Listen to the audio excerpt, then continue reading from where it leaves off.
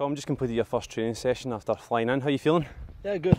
A little bit, a little bit slow first session, but um, it's expected with the travel. It's just good to get back with the boys and get into training. You're going to be in international duty with Australia. How was those games? Quite tiring, I'd imagine.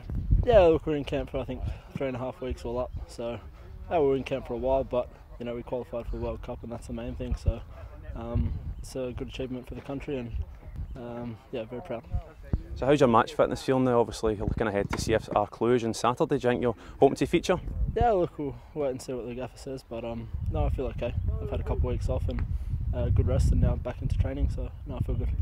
The manager was talking when you first signed for Celtic how it was important for you to get a really good pre-season under your belt. Do you feel you're making progress on that? Yeah, I think so. I mean, the internationals, I guess, disrupted the start of that a little bit, but um, no, good to get back into it all, and I'm really looking forward to this year.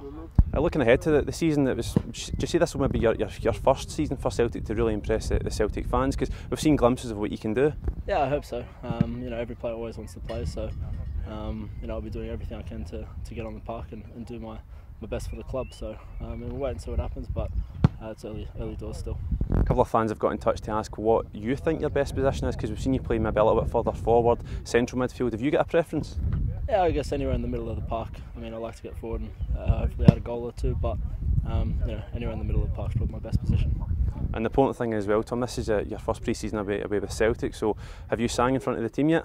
Yeah, yeah, I did that. Did that last year, so got it out the way. Thank, thankfully. I can ask what you sang. Uh, I have the Tiger Rocky theme song.